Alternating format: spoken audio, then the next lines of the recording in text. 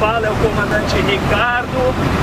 Estamos andando em velocidade de cruzeiro de aproximadamente 100 km.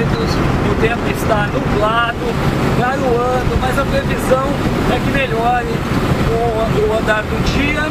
A previsão de chegada em Porto Alegre é 8 da noite, o tempo lá está mais agradável.